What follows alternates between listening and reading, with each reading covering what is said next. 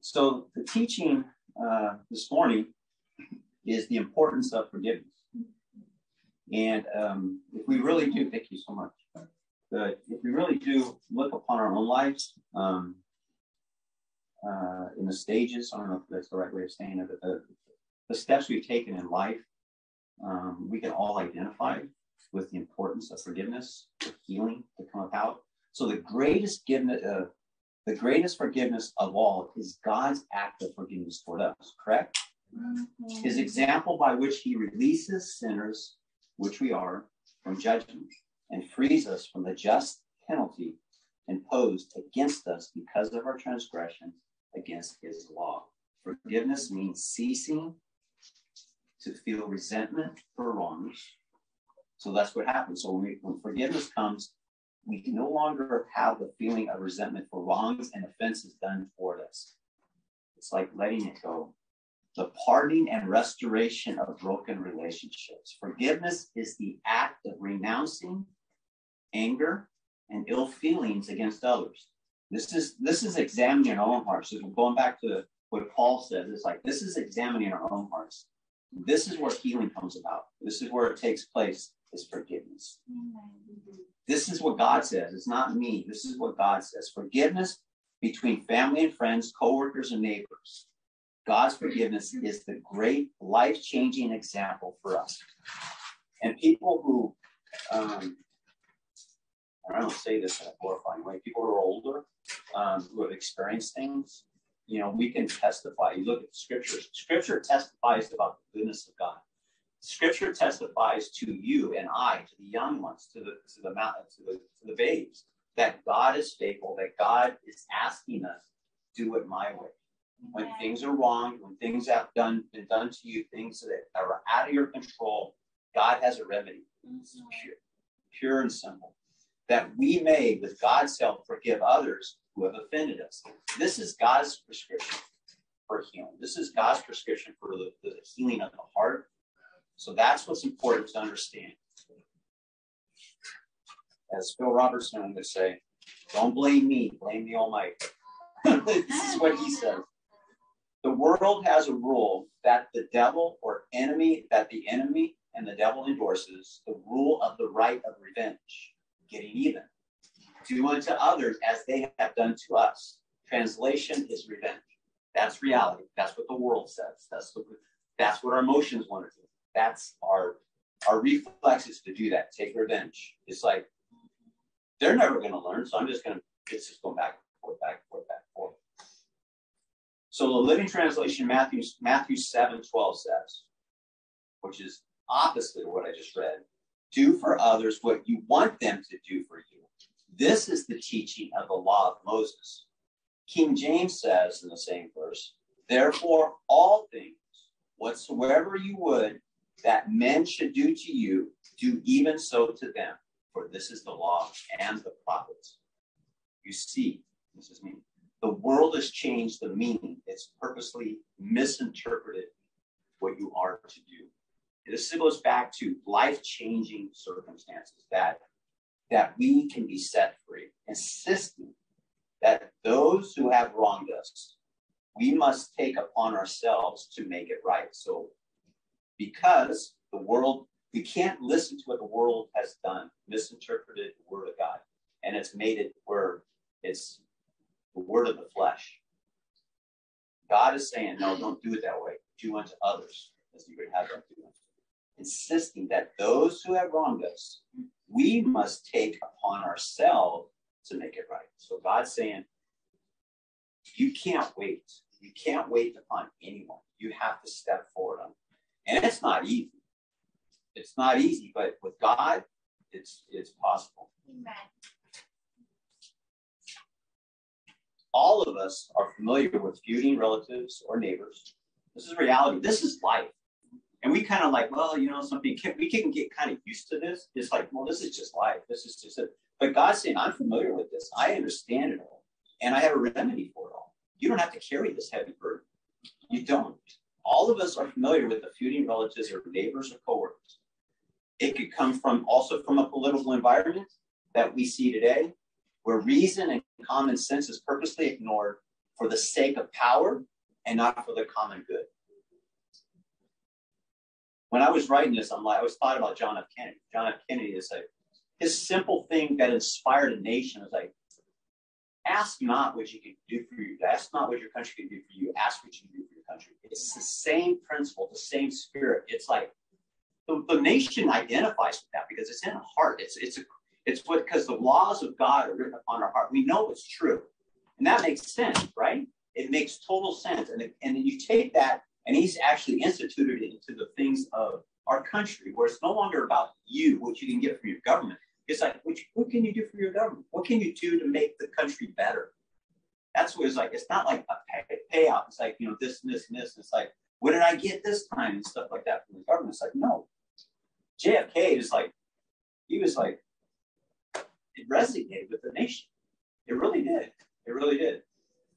Because of the same real or imagined offense, refused to have any common goal of reconciliation with each other, holding grudges with people to the day they died.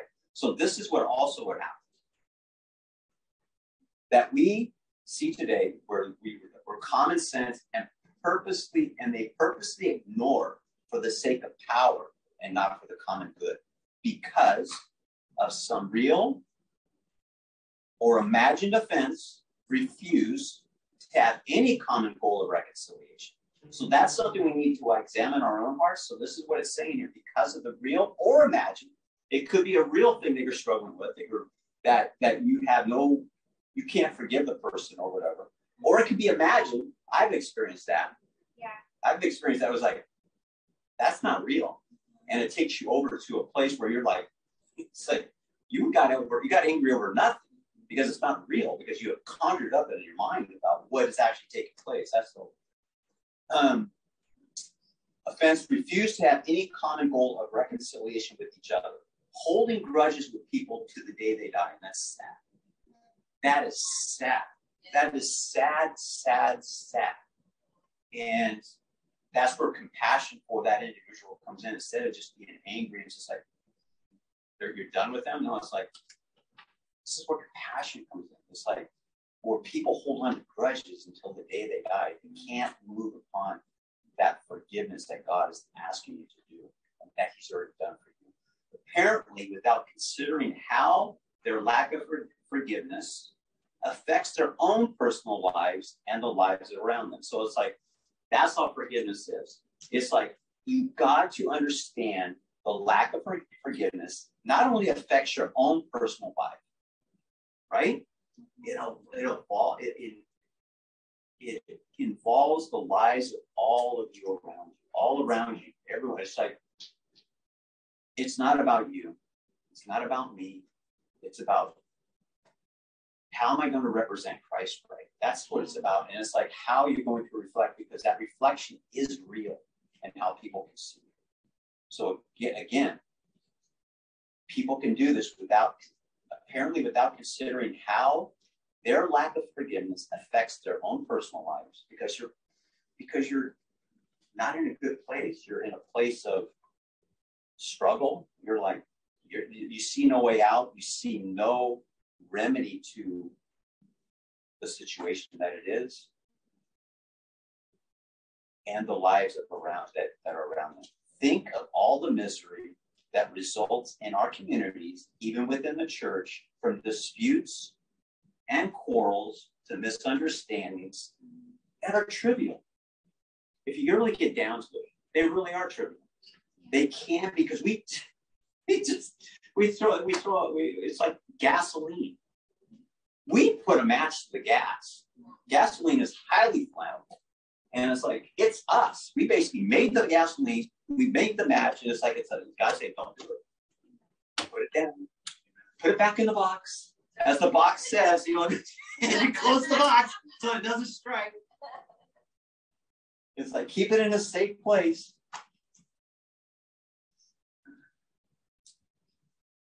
Compared with the way each of us, so compare that to the way each of us have offended God. Finger, but how we how we have offended God, and God has shown mercy, and God has forgiven us Think about that. Think about that. Compare it to the way each of us have offended God. I'm going to go to, you guys can go to Matthew 18. I'm going to read from the Living Translation.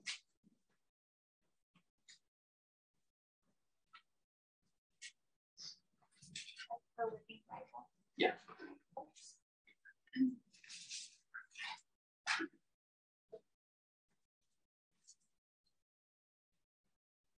Verse 1 About that time, the disciples came to Jesus to ask which of them would be the greatest in the kingdom of heaven. Jesus called a small child over to him and set the little fellow down among them and said, Unless you turn to God from your sins and become as little children, you will never get into the kingdom of heaven. Therefore, anyone who humbles himself as this little child is the greatest in the kingdom. And at and any of you who welcomes a little child like this, because you are mine, is welcoming me and caring for me. Verse 6 But if any of you causes one of these little ones, talking about not just children, he's talking about you and I. We're children of God. So we got to take that in the context. So, six, but if any of you causes one of these little ones who trusts in me to lose his faith, it would be better for you to have a rock tied to your neck and thrown into the sea. Woe upon the world for all its evils. Temptation to do wrong is inevitable, inevitable. But woe to the man who does the tempting. So if your hand or foot causes you to sin, cut it off and throw it away. Better to enter heaven crippled than to be in hell with both your hands and feet. Nine. And if your eye causes you to sin, gouge it out and throw it away. Better to enter heaven with one eye than to be in hell with two. Beware that you don't look down upon a single one of these little children. For I tell you that in heaven, their angels have constant access to my Father.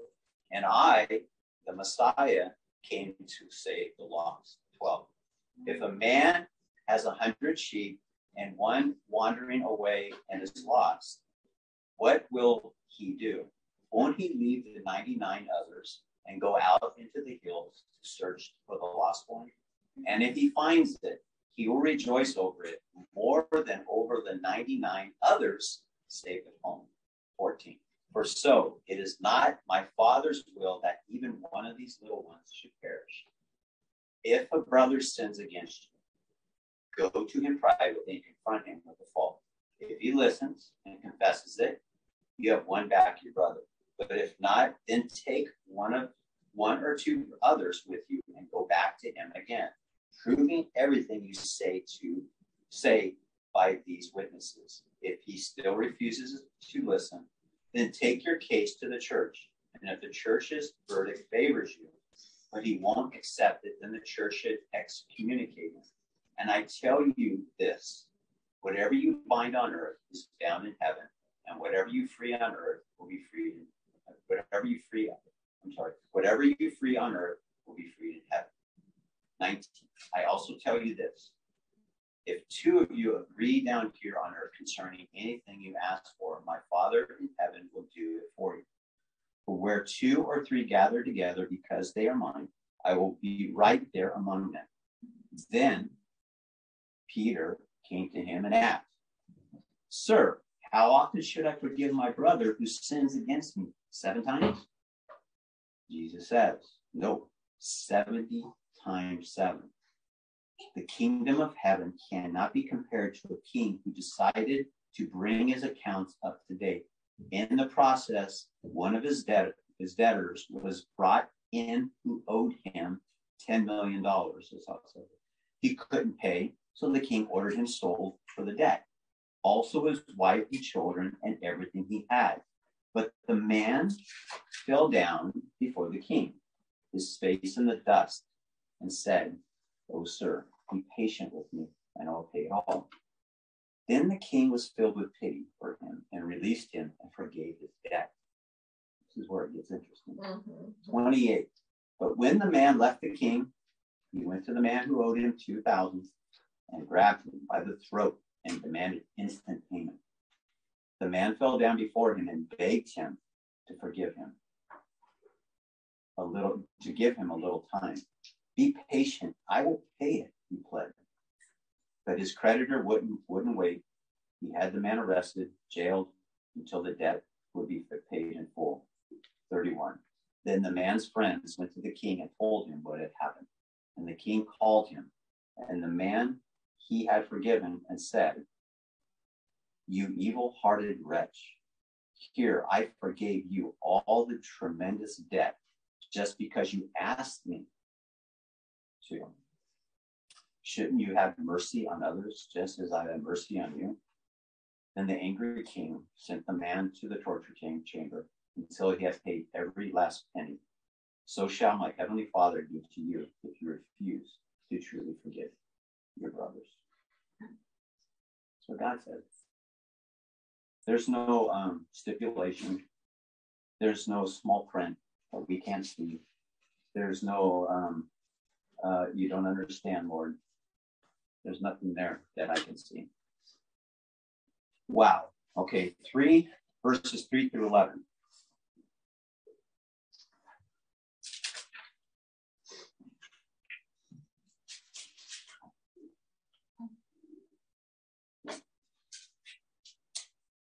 What I get is except you be converted, changed. That's what it says here in um I think it's in, in the King James, I think it is. Are we still in Matthew? Yes.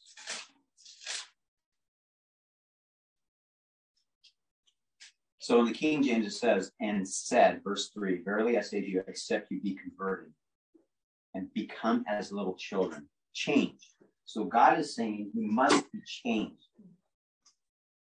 You must be changed to become as little children. God is saying, yes, you are grown ups, you are adults and things like that, but you must in your heart be changed.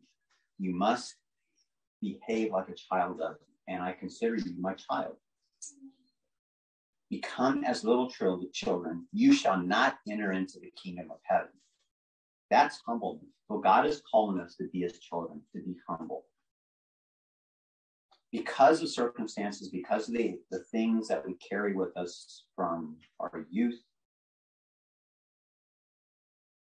which has molded our hearts, doesn't mean we have to stay there. We don't have to stay there because it begins with the power of God in allowing Him to change our heart through His Word, diving into His Word, asking Him to change our heart. He will change our heart. You can't do it yourself. You're not going to be able to find it through a a magazine, a book, literature, a sermon, you're not going to get it anywhere from that. You're going to get it from the Word of God. You will, and through the power of prayer, because your prayers will be alignment with God's Word in what we're reading right here. God is saying, be changed. Be as a child. Don't be like the world. The world has set itself up where a man is supposed to be angry. A man is supposed to be this. A man is supposed to be that. A man is like he's supposed to be controlling. It's like that's not how God God designed anything. God has not designed that at all. God has designed relationships in a perfect manner. So when we get out of alignment, everything falls apart and you never find your way back. You never will unless you go back to the Word of God. Absolutely. Mm-hmm. God is referring to us as his children. So be careful and beware. It's like you and I, you and I, you and I. If I treat you badly, I think I was that's dangerous. Mm-hmm. Or if I even like talk behind your back or something like that, that's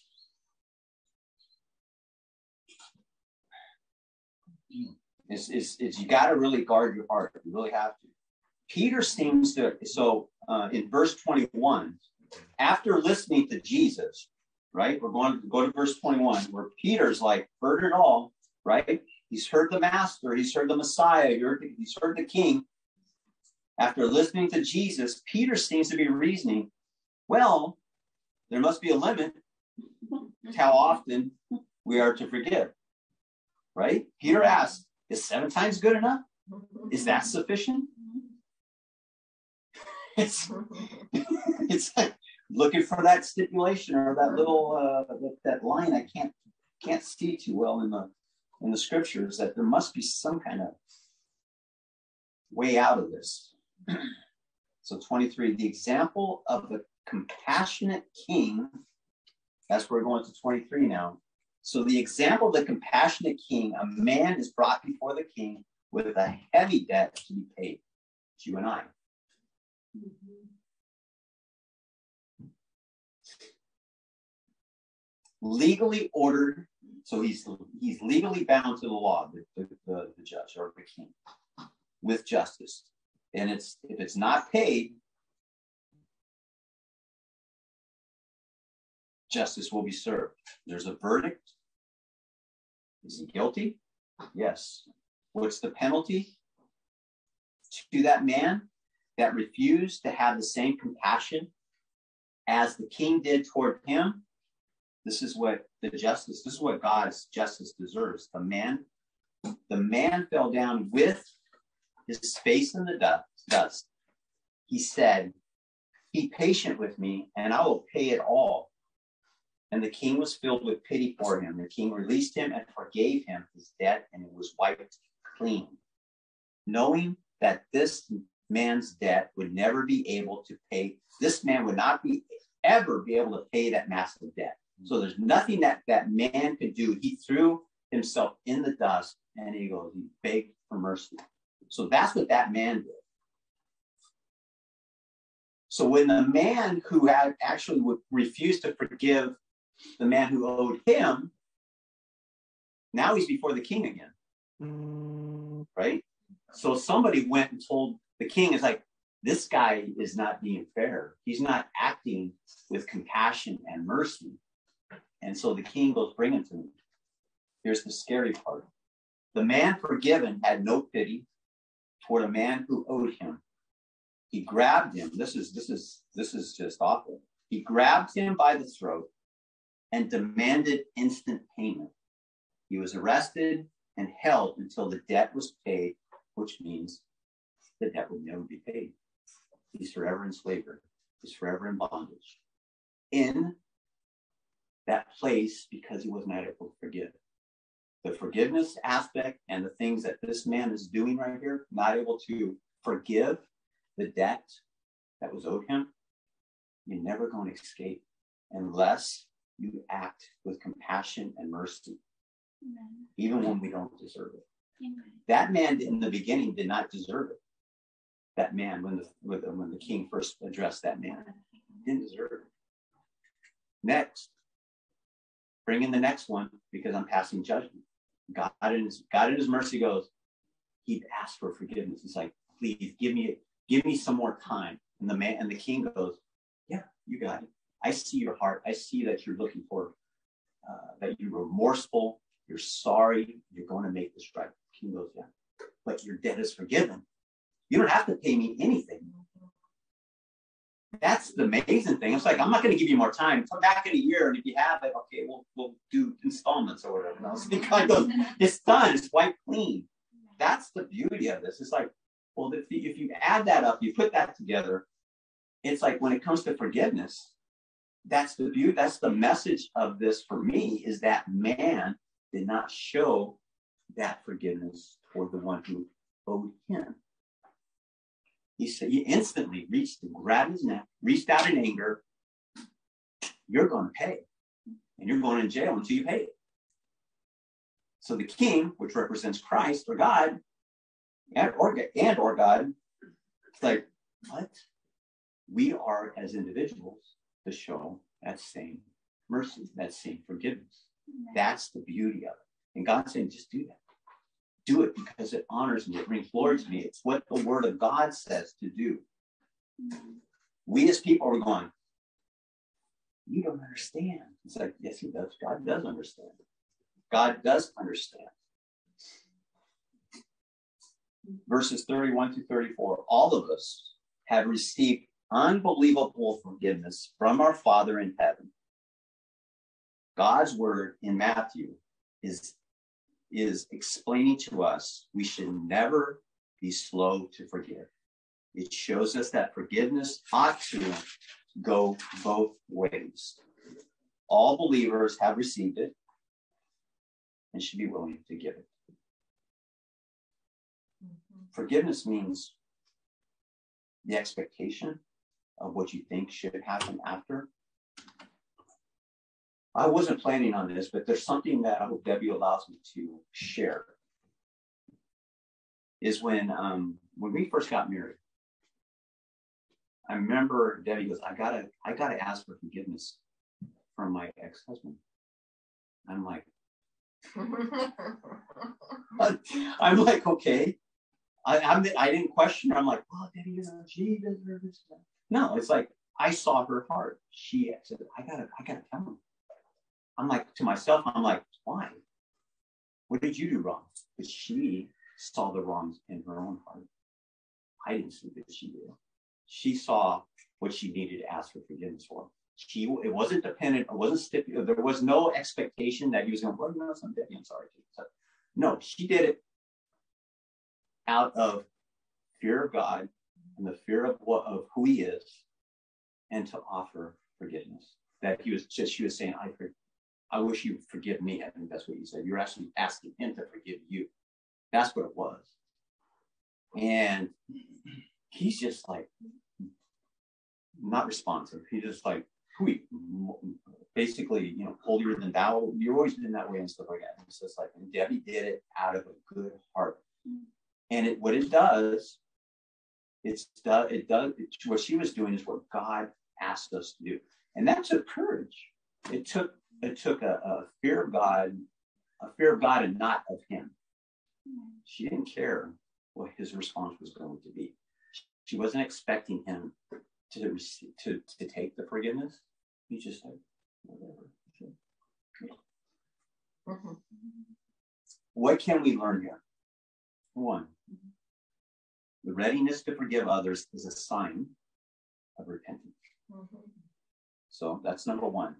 The readiness to forgive others is a sign of repentance. As Jesus taught Peter, there are no limits we should be set that should be set on them. We are to forgive, not just when not just seven times, but 70 times seven, which basically means continually. Amen. The Jewish practice at that time and even before is to forgive three times, and after that, they're done. it's like there's no more forgiveness. T- take it from Amos uh, chapter 1, verse 3. And they take that from uh, Amos chapter 1, verse 3. It says, King James, Thus says the Lord, for three transgressions of Damascus, and for four, I will not turn away the punishment thereof. Peter may have thought seven times was super generous. That's enough. it's like, I'm being generous, Lord. It's like, I'm not doing it just three times, I'm doing it seven times. But Jesus places no limit to our forgiveness to others. So let's go to Ephesians 4.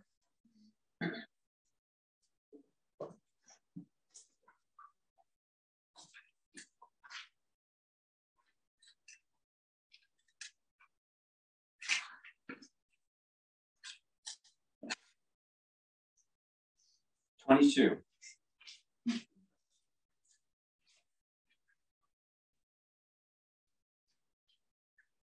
Let me know when you're there. Amen.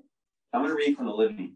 Then throw off your old evil nature, the old you, the old you that was a partner in your evil ways, rotten through and through, full of lust and shame. 23. Now your attitudes and thoughts must be constantly changing for the better. Yes, you must be a new and different person, holy and good. Clothe yourselves with this with this new nature. It's like God is asking you to put it on. 25. Stop lying to each other. Tell the truth. We are parts of each other.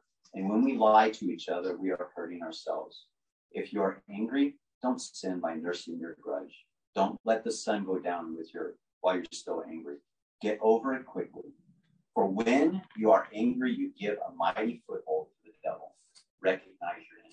That's what God is saying here. Recognize who you're dealing with. You're not dealing with whoever's in front of you. You have to recognize you're dealing with something who's trying to entice you. Don't recognize that person as the devil. Recognize who's trying to entice you, to cause you to react violently, in regards to verbal things like that. Uh, but God is asking you to recognize who's trying to light your match, who's trying to ignite the flame. 28. If anyone is stealing, he must stop it and begin using those hands of his for honest work so he can give to others in need. 29. Don't use bad language. Say only what is good and helpful to those you are talking to and what will give them a blessing. That throws the enemy off off uh, off balance It's it, the devil's. What where'd that come from? You didn't you didn't you didn't uh, you didn't put the match to the uh, to the gasoline here. It's like that's not how it's supposed to work. Don't cause the Holy Spirit sorrow by the way you live. Remember, He is the one who marks you to be present on that day when salvation from sin will be complete. 31. Stop being mean, bad temper, and angry. Quarreling, harsh words, and dislike of others should have no place in your life. God's saying that. God is saying that's how holy we are. That's how we pursue holiness. And when we, nobody's perfect. Nobody's perfect. You're battling these things. That's why Paul is that he's so animated. Examine your own heart because your heart is wicked. Because God, through His Holy Spirit, is the one that convicts the heart. It's like, and God is using that. God's using the Holy Spirit with the Word of God. Stop being mean because the Holy Spirit's going. Is this getting you anywhere? Are you happier? Are you? Uh, is it any better for you when everybody's crying, people are angry, things like that? You know, your neighbor's gone off, and it's like seems justified by you confront your neighbor about something, God forbid. But it's like, is anything settled? No. You just basically lit a, lit a torch, lit a match through gasoline. Stop. God is saying this. Stop being mean, bad temper. God is God's not saying, but God's not putting any stipulation. He's not saying this. He's not saying, he's not saying, well, this happens and it's okay to do this. God's not saying that at all. Never. There's no excuse. Stop being mean, bad, bad tempered, and angry. I'm not saying this, right? God is saying this. Quarreling, harsh words, and dislike of others should have no place in our lives. God is saying. Instead, be kind to each other. And that's what Debbie did. That was an example. First married, I knew she was I knew she loved God. I knew she loved God more than I knew that. And that was an example for me. It was like, and that's that's that's what it's all about. Instead, be kind to each other, tenderhearted, forgiving one another, even though he, her husband, that's something we never did. We never spoke ill about her father in front of. Never, ever, ever, ever, ever. Um, because that's something I grew up with. I understood that. God showed me that when I was through my mom, my mom, even my dad. He never spoke ill about my mom. And my mom never spoke ill about him. My my dad, that's what that was just. I have to just thank God for this because my dad always goes, Your mom did such a wonderful job with you. He always said that. I had that. Some people don't have that. That shows the strength that God can give you is that God can do also encourage you. He can encourage you in the same way. It's like because the truth is the truth. When I was blessed with that, but God is telling you that as parents. God is telling you that as husbands and as wives. Is that you are doing a good job when you do it my way. And that doesn't mean that God's just like, just do it my way and that's the way it is. No, do it my way and see what happens. That's it. You don't see it. You don't understand it. You can't foresee it.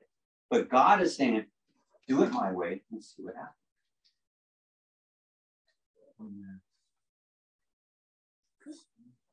So again, instead of be, instead be kind to each other, tenderhearted, forgiving one another, just as God has forgiven you, because you belong to Christ. Because you belong to Christ.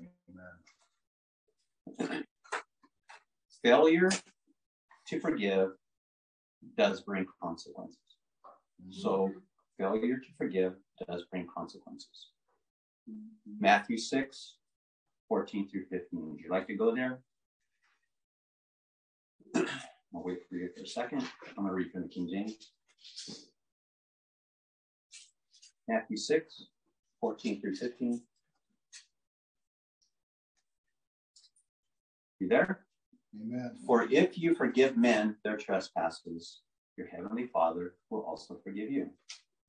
Here's the stipulation that God gives us. But if you forgive not men their trespasses, neither will your Father forgive your trespasses. That's not, I'm not telling you that. This is not me saying this is how it is. God is telling us out of kindness, out of mercy, and of love, He says, For if you forgive men their trespasses, just as your heavenly Father forgave you, just like the king that we read in Matthew 18. But if you forgive not men their trespasses, neither will your Father forgive your trespasses. And I'm not bringing any glory. I'm just thankful for my wife. That that's what that's what that's these scriptures right here are, are embedded in her heart for her to do what she did. Mm-hmm. The world has tempted um, has attempted to water down the meaning of what we just read by giving us excuses or believing that we have an excuse, inserting um, man made escape clauses, meaning it doesn't apply to me in my situation. You can't get away from that. That is not true. Never has, never will be. Jesus clearly is saying that there will be no forgiveness for unforgiving, unforgiving people. That's what it says. Again, don't blame me. Every one of us is indebted to God. He forgives when, when we repent. He forgives when we repent. Scripture is shown is showing us we must practice forgiveness toward each other. Practice. Practice following. Practice means getting better and better and better and better. You get that's what athletes do, right? God help us to see when we are holding grudges, bitter feelings toward other people. To forgive does not mean that we excuse the sinful offense. To forgive does not mean that we, we excuse the sinful offense. When we forgive another person, it does not mean we are excusing the sin. Sin is always sin. But forgiveness ends. This is the key. This is this is where it always applies to us. This is where it all sets us free. But forgiveness ends, it ends the bitterness, the anger, and the resentment. That's what happens to us when we forgive. It ends the bitterness, the anger, and the resentment. It does, because the Holy Spirit's working within us. We must develop and maintain the capacity to forgive. this I'm going to read. This is from a gentleman that I'll, I'll let you know. So this is this what I'm going to read right here is from a gentleman that everyone knows. We must develop and maintain the capacity to forgive. He who is devoid of the power to forgive is, listen to this, is devoid of the power to love there is some good in the worst of us and some evil in the best of us. When we discover this, we are less prone to hate our enemies. Martin Luther King Jr. said that. So these, these truths that he said here are rooted in the scriptures. His meaning without forgiveness, we take away our power to love others it all comes from here. All the power to love others comes from Him. Is to be in obedience to what the Word of God says. When we struggle to do it, God is faithful to do it because He. He's changing our hearts. I see that. I see that in all of us. I really do. I see that. I really do. I see the change. It's a testimony for God. It really is. Our flesh does not want to let those those who hurt us off the hook, correct? Our flesh, our, our, our, our person, our flesh does not want to let those who hurt us off the hook. Why? Because we may think that we may be taken advantage of. Mm-hmm. What we think, right? It's like it's going to happen again. It's going to happen again. I'm going to get beat up again in the sense of whatever. That's a real concern because if only could, but because the person, because they're because they don't want to be taken advantage again, because if only they can feel my pain or know what they have and how they have hurt me. So it just goes back and forth. It goes back and forth. And this is reality. This is this is for me. I've experienced all this stuff. It's like you guys, I don't know if you guys are saints, but I'm not. It's like in my life, these are things that we all struggle with. It's like it's like workplace things like that. It's like, no, you're not going to get. You're not going to. It's like, you, don't you know who you're talking to and stuff like that? No, it's like God is not asking us to behave that way. We are to respect and honor. There's another thing. There is a wall that makes it so difficult to forgive. What's that wall? Anybody? What's the wall that, that prevents us for, to forgive? Pride. Yeah. Fear. Fear. Fear of being vulnerable. Yeah, That's real. yeah, that's true. Fear of not being in control. That's real. Because that that's that's that's the big thing. That's huge for me. Huge for us. Re- recognize why. It's like because as men, men were like all big and strong and stuff like that. And it's like whatever, you know, some people are stronger than others. but um, but it's the world the world has offered us as men, as husbands, as fathers, is not to be vulnerable. It's not to be honest and not to be truthful, not to rely upon your friend, your spouse, as you're supposed to rely upon them. You know, because God says there's that perfect order that God has given. Mhm. Forgiveness shown in God's word empowers you into the first steps in being set free from the painful past. Forgiveness shown in God's word by doing it his way has empowered you, has empowered you. It has not made you weak. It has not made you uh, uh, somebody to be walked on. You're not going to be walking on anymore because God is with you. Whether you understand it or not, can comprehend it right now, no, because God is with you and you're standing upon his truth. You're not standing upon the world's truth. You're standing upon his truth. So I'm going to repeat it again. Forgiveness shown in God's word empowers you in the first steps in being set free. Set free from the painful past. And God will lead you to a new beginning. That's the promise. That's the belief that God is showing us in his word. God is showing us in his word. You know, I I'm just going to use Debbie and I. It's like where we were and things like that. It's like God has given us a new beginning. That's why I look at it. God has given us a new beginning with each other. And that's how we ought to see it because God did it. Even with all of our called baggage, things like that. It's just like, God's just like, just do it my way. Mm-hmm. Do it my way. Mm-hmm. Do it. Just do it. You don't understand how it's going to happen. You don't understand. You can't comprehend it because we want to know it now. This is what I always hear. I want to know. I want to know. I want to see it. I want to be able to know the plan. I want to see the writing. I want it all spelled out to me. That's what great bosses do. You know, a lot of so-called great bosses. They want it all write it out for me, so I did, so I can actually do it. Forgiveness isn't where you wait for the other person to apologize or say, I'm sorry.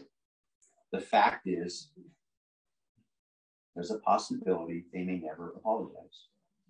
But if your forgiveness is dependent upon them reaching out first, you will be enslaved to sorrow. That's the truth of the matter. That I want you to I want you to really think about that. Write it down because I think it's that important. Forgiveness isn't where you wait for the other person to apologize or say I'm sorry. The fact is they may never apologize. They may never, may never. If your forgiveness is dependent, if you to forgive them is dependent upon them reaching out first, or even saying they're also sorry, you will be enslaved to sorrow. So it's like just reach out and just do it Amen. because God is asking you to do it. Amen. You're set free. You're no longer bound to it anymore. That's the freedom. That's it. And I'm not trying to embarrass. I'm really not because it's a testimony for how I am to live. Mm-hmm. Is how she did. It's like she wasn't expecting. She didn't know what to expect. She was she knowing the man. It's just you know, blow up on the phone, hang up, slam the phone. Who knows? But she did it. And it was just a beautiful thing. I remember I was standing right over here, and she's over by the phone over there. I'm going to leave you with this. Forgiveness is one of the highest of virtues. Why? Because it reflects the character of God.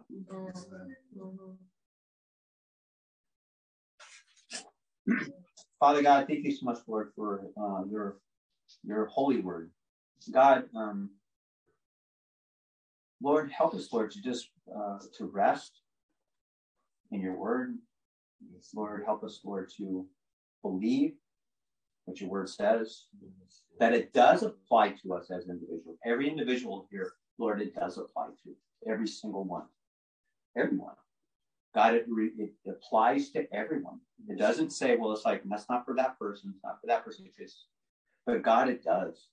It's for everyone, wherever they're at. So God, help us, Lord, because God, we will be set free from that, from that bondage, from that slavery. Lord, God, just thank you so much, Lord. God, you have set us free from your word, through your word, through your word, Lord. And God, we're grateful, Lord, for what it means. Thank you. Lord. And um, if God is for us, who can be against us?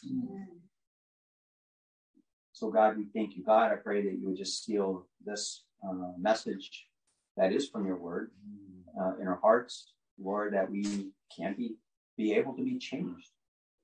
Lord, it's, it's not of ourselves. Our, that's why our dependence is so great upon you.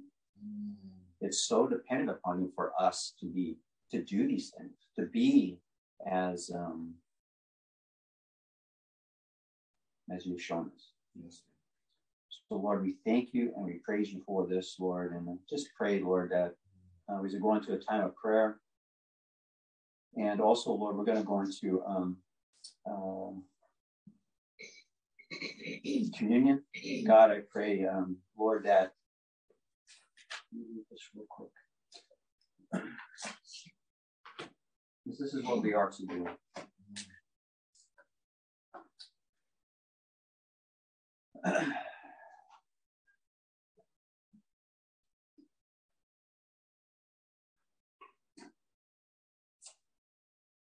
First Corinthians 11, 24. And when he had given thanks, he broke it and said, I'm going to read it and we'll read it again. Take and eat this, my body, which is broken for you.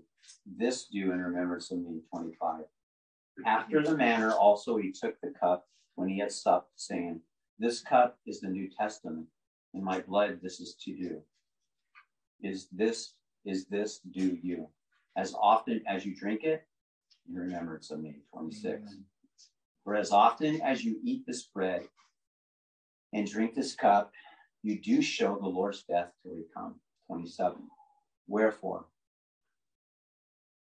whosoever shall eat, this is this is this is I want you guys to pray about this before we do this, because God is saying this in his word, and this goes for me and all of us. Wherefore, whosoever shall eat this bread and drink this cup in the Lord unworthily, unworthily, shall be guilty of the body and the blood of the Lord. 28. But let a man examine himself and let him eat of that bread and drink of that cup. For he that eats and drinks unworthily eats and drinks damnation to himself, not discerning the Lord's body. For this cause, many are weak and sickly among you, and many sleep. For if we would judge ourselves, we should not be judged. So, Debbie, if you would go ahead and thank you. So, I want you to pray about that, and I think we should always ponder this, pray about it, um, examine our hearts, and then we can partake. We are free to partake when we examine our hearts. This is what we ought to do, not just in remembrance, but also to do it in a manner that we would um, desire um, our hearts to be changed.